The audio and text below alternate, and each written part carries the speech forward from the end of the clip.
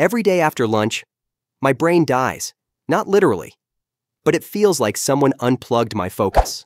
One hour I'm sharp, the next I'm staring at the screen wondering what year it is. Turns out, it wasn't just food. It was my brain chemistry. Here's the truth. Your brain doesn't crash after lunch because you ate too much. It crashes because your dopamine levels drop after your morning reward rush. All the motivation, the productivity, the energy, it peaks before noon. After lunch, the brain shifts into recovery mode, begging you to rest. That's why scrolling suddenly feels easier than working. Your brain is chasing stimulation, not progress.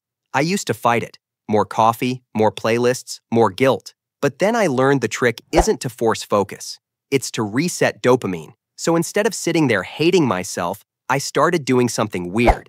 A 10-minute dopamine reset walk. No phone, no podcasts, no music. When I came back, I didn't feel sleepy. I felt clear because movement plus silence equals brain reset. It gives your mind time to recycle dopamine naturally. The same trick works for studying, writing, or work burnout.